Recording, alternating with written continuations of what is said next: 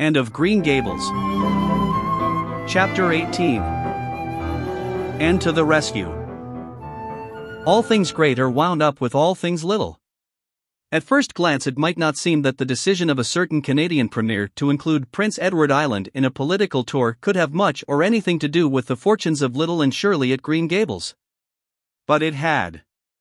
It was a January the premier came to address his loyal supporters and such of his non supporters as chose to be present at the monster mass meeting held in Charlottetown.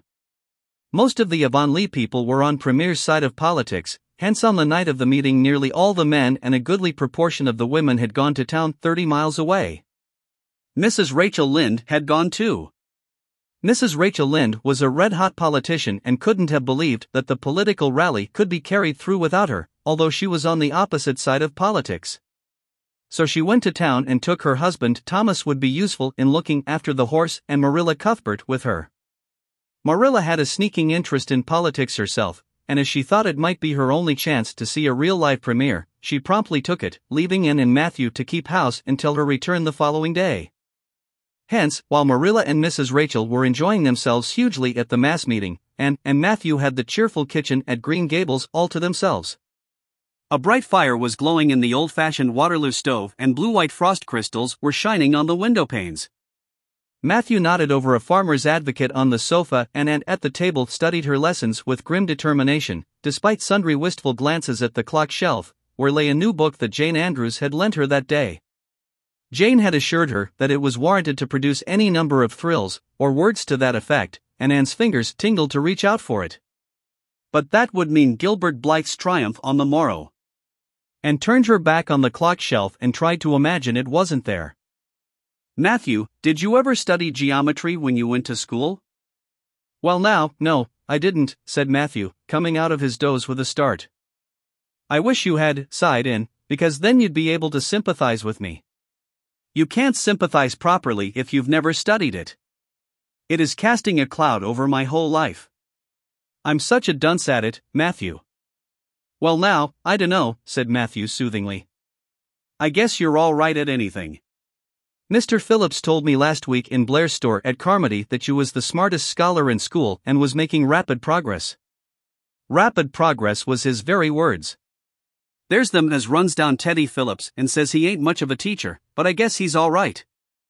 Matthew would have thought anyone who praised Anne was all right. I'm sure I'd get on better with geometry if only he wouldn't change the letters, complained Anne. I learn the proposition off by heart and then he draws it on the blackboard and puts different letters from what are in the book and I get all mixed up. I don't think a teacher should take such a mean advantage, do you? We're studying agriculture now and I've found out at last what makes the roads red. It's a great comfort. I wonder how Marilla and Mrs. Lynde are enjoying themselves. Mrs. Lynde says Canada is going to the dogs the way things are being run at Ottawa and that it's an awful warning to the electors. She says if women were allowed to vote, we would soon see a blessed change. What way do you vote, Matthew? Conservative, said Matthew promptly. To vote conservative was part of Matthew's religion. Then I'm conservative too, said Anne decidedly. I'm glad because Gil, because some of the boys in school are grits. I guess Mr. Phillips is a grit too because Prissy Andrews's father is one, and Ruby Gillis says that when a man is courting, he always has to agree with the girl's mother in religion and her father in politics. Is that true, Matthew? Well, now, I dunno, said Matthew. Did you ever go courting, Matthew? Well, now, no, I dunno's I ever did, said Matthew, who had certainly never thought of such a thing in his whole existence. Anne reflected with her chin in her hands. It must be rather interesting, don't you think, Matthew? Ruby Gillis says when she grows up she's going to have ever so many bows on the string and have them all crazy about her, but I think that would be too exciting. I'd rather have just one in his right mind. But Ruby Gillis knows a great deal about such matters because she has so many big sisters, and Mrs. Lynde says the Gillis girls have gone off like hotcakes. Mr. Phillips goes up to see Prissy Andrews nearly every evening. He says it is to help her with her lessons, but Miranda Sloane is studying for Queen's too, and I should think she needed help a lot more than Prissy because she's ever so much stupider, but he never goes to help her in the evenings at all. There are a great many things in this world that I can't understand very well, Matthew. Well, now, I dunno as I comprehend them all myself, acknowledged Matthew. Well, I suppose I must finish up my lessons. I won't allow myself to open that new book Jane lent me until I'm through. But it's a terrible temptation, Matthew. Even when I turn my back on it, I can see it there just as plain. Jane said she cried herself sick over it. I love a book that makes me cry. But I think I'll carry that book into the sitting room and lock it in the jam closet and give you the key. And you must not give it to me, Matthew, until my lessons are done, not even if I implore you on my bended knees. It's all very well to say resist temptation, but it's ever so much easier to resist it if you can't get the key. And then shall I run down the cellar and get some russets, Matthew? Wouldn't you like some russets? Well, now, I dunno, but what I would, said Matthew, who never ate russets but knew Anne's weakness for them. Just as Anne emerged triumphantly from the cellar with her plateful of russets came the sound of flying footsteps on the icy board walk outside and the next moment the kitchen door was flung open and in rushed Diana Barry, white-faced and breathless, with a shawl wrapped hastily around her head. Anne promptly let go of her candle and plate in her surprise, and plate, candle, and apples crashed together down the cellar ladder and were found at the bottom embedded in melted grease, the next day, by Marilla, who gathered them up and thanked mercy the house hadn't been set on fire. Whatever is the matter, Diana? cried Anne. Has your mother relented at last? Oh, Anne, do come quick, implored Diana nervously. Minnie May is awful sick, she's got croup. Young Mary Joe says, and father and mother are away to town and there's nobody to go for the doctor. Minnie May is awful bad and young Mary Joe doesn't know what to do and oh, Anne, I'm so scared. Matthew, without a word, reached out for cap and coat, slipped past Diana and away into the darkness of the yard. He's gone to harness the sorrel mare to go to Carmody for the doctor, said Anne, who was hurrying on hood and jacket. I know it as well as if he'd said so. Matthew and I are such kindred spirits I can read his thoughts without words at all. I don't believe he'll find the doctor at Carmody, sobbed Diana. I know that Dr. Blair went to town and I guess Dr. Spencer would go too. Young Mary Joe never saw anybody with croup and Mrs. Lynde is away. Oh, Anne. Don't cry, Dee, said Anne cheerily. I know exactly what to do for croup. You forget that Mrs. Hammond had twins three times. When you look after three pairs of twins, you naturally get a lot of experience. They all had croup regularly. Just wait till I get the Ipecac bottle, you mayn't have any at your house. Come on now. The two little girls hastened out hand in hand and hurried through Lover's Lane and across the crusted field beyond, for the snow was too deep to go by the shorter wood way. Anne, although sincerely sorry for Minnie May, was far from being insensible to the romance of the situation and to the sweetness of once more sharing that romance with a kindred spirit. The night was clear and frosty, all ebony of shadow and silver of snowy slope, big stars were shining over the silent fields, here and there the dark pointed firs stood up with snow powdering their branches and the wind whistling through them Anne thought it was truly delightful to go skimming through all this mystery and loveliness with your bosom friend who had been so long estranged. Minnie May, aged three, was really very sick. She lay on the kitchen sofa feverish and restless, while her hoarse breathing could be heard all over the house. Young Mary Joe, a buxom, broad faced French girl from the creek, whom Mrs. Barry had engaged to stay with the children during her absence, was helpless and bewildered, quite incapable of thinking what to do, or doing it if she thought of it Anne went to work with skill and promptness. Minnie May has croup all right, she's pretty bad, but I've seen them worse. First, we must have lots of hot water. I declare, Diana, there isn't more than a cupful in the kettle. There, I've filled it up, and, Mary Joe, you may put some wood in the stove. I don't want to hurt your feelings, but it seems to me you might have thought of this before if you'd any imagination. Now, I'll undress Minnie May and put her to bed, and you try to find some soft flannel cloths, Diana. I'm going to give her a dose of Ipecac first of all.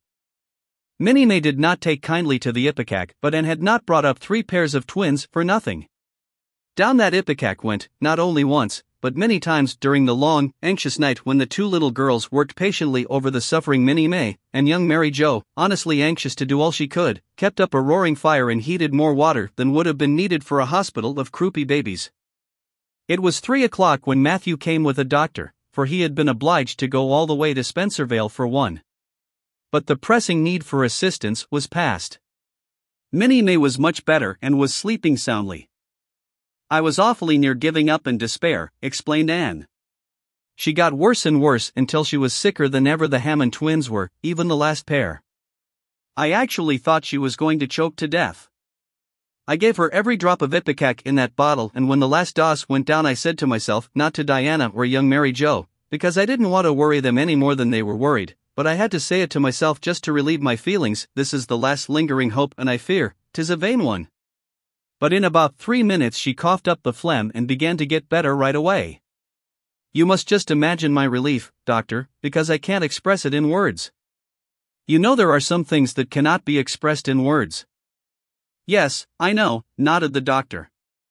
He looked at Anne as if he were thinking some things about her that couldn't be expressed in words. Later on, however, he expressed them to Mr. and Mrs. Barry. That little red-headed girl they have over at Cuthbert's is as smart as they make him. I tell you she saved that baby's life, for it would have been too late by the time I got there. She seems to have a skill and presence of mind perfectly wonderful in a child of her age. I never saw anything like the eyes of her when she was explaining the case to me. Anne had gone home on the wonderful, white frosted winter morning, heavy eyed from loss of sleep, but still talking unweariedly to Matthew as they crossed the long white field and walked under the glittering fairy arch of the Lover's Lane maples. Oh, Matthew, isn't it a wonderful morning? The world looks like something God had just imagined for his own pleasure, doesn't it? Those trees look as if I could blow them away with a breath, poof. I'm so glad I live in a world where there are white frosts, aren't you? And I'm so glad Mrs. Hammond had three pairs of twins after all. If she hadn't, I mightn't have known what to do for Minnie May. I'm real sorry I was ever cross with Mrs. Hammond for having twins. But, oh, Matthew, I'm so sleepy. I can't go to school. I just know I couldn't keep my eyes open and I'd be so stupid. But I hate to stay home, for Gil, some of the others will get head of the class, and it's so hard to get up again, although, of course, the harder it is, the more satisfaction you have when you do get up, haven't you? Well, now, I guess you'll manage all right, said Matthew, looking at Anne's white little face and the dark shadows under her eyes. You just go right to bed and have a good sleep. I'll do all the chores. Anne accordingly went to bed and slept so long and soundly that it was well on in the white and rosy winter afternoon when she awoke and descended to the kitchen where Marilla, who had arrived home in the meantime, was sitting knitting. Oh, did you see the premier? exclaimed Anne at once. What did he look like, Marilla? Well, he never got to be premier on account of his looks, said Marilla. Such a nose as that man had. But he can speak. I was proud of being a conservative. Rachel Lynde, of course, being a liberal, had no use for him. Your dinner is in the oven, Anne and you can get yourself some blue plum preserve out of the pantry. I guess you're hungry. Matthew has been telling me about last night. I must say it was fortunate you knew what to do. I wouldn't have had any idea myself, for I never saw a case of croup. There now, never mind talking till you've had your dinner. I can tell by the look of you that you're just full up with speeches, but they'll keep. Marilla had something to tell Anne, but she did not tell it just then, for she knew if she did, Anne's consequent excitement would lift her clear out of the region of such material matters as appetite or dinner. Not until Anne had finished her saucer of blue plums did Marilla say, Mrs. Barry was here this afternoon, Anne. She wanted to see you, but I wouldn't wake you up. She says you saved Minnie May's life, and she is very sorry she acted as she did in that affair of the currant wine. She says she knows now you didn't mean to set Diana drunk, and she hopes you'll forgive her and be good friends with Diana again. You're to go over this evening if you like, for Diana can't stir outside the door on account of a bad cold she caught last night. Now, Anne Shirley, for pity's sake, don't fly up into the air. The warning seemed not unnecessary, so uplifted and aerial was Anne's expression and attitude as she sprang to her feet, her face irradiated with the flame of her spirit. Oh, Marilla, can I go right now without washing my dishes? I'll wash them when I come back, but I cannot tie myself down to anything so unromantic as dishwashing at this thrilling moment. Yes, yes, run along, said Marilla indulgently. Anne Shirley, are you crazy? Come back this instant and put something on you. I might as well call to the wind. She's gone without a cap or wrap. Look at her tearing through the orchard with her hair streaming. It'll be a mercy if she doesn't catch her death of cold. Anne came dancing home in the purple winter twilight across the snowy places.